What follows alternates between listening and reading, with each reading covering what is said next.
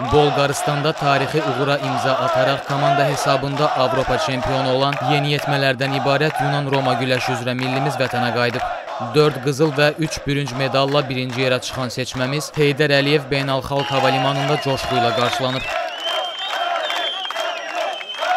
Xalqımızı təbrik edirəm.